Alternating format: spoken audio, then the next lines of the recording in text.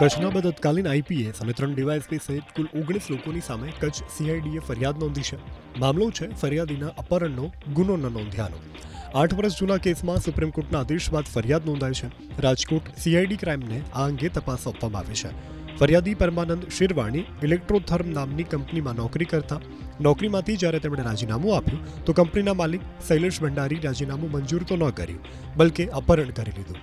એટલું જ નહીં, પૈસા અને ઘરણા પડાવી લીધા. ફરિયાદીએ પોલીસ સમક્ષ ગુનો નોંધવાની માંગ કરી. તો પોલીસે ગુનો નોંધ્યો.